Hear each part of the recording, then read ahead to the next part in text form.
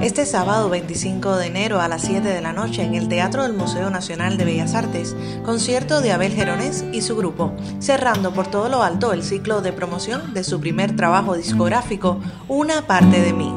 Vamos a estar compartiendo escenario con Annie Garcés, con Mauricio Figueiral, con Polito Ibáñez y algunos, eh, Vladimir Cobas, por supuesto, continuo, no podía faltar, y algunos otros invitados que, que no han confirmado pero el concierto trascenderá las fronteras del propio teatro como resultado de la beca El Reino de este Mundo que otorga la Asociación Hermanos Aiz. Vamos a estar haciendo un DVD que va por nombre Una parte de mi life, una parte de mi en vivo.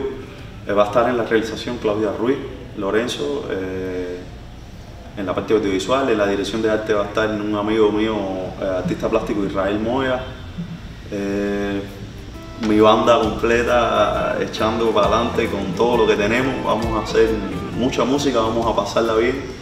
Graduado de guitarra y bajo en el Conservatorio Guillermo Tomás en Guanabacoa, Abel Gerones cuenta con dos nominaciones a los premios Cubadisco 2019 y fue finalista del concurso Adolfo Guzmán. Estamos trabajando en un segundo álbum que me, que me tiene muy feliz, lleva por nombre Carrusel, tiene 11 canciones y de esas 11 hay dos temas que tengo en coautoría con Vicente Alejandro Drigo de Corazón, que va a ser una de las colaboraciones, y el otro con Mauricio Figueral, un tema que sé que va a ser Las Delicias del Pueblo Cubano.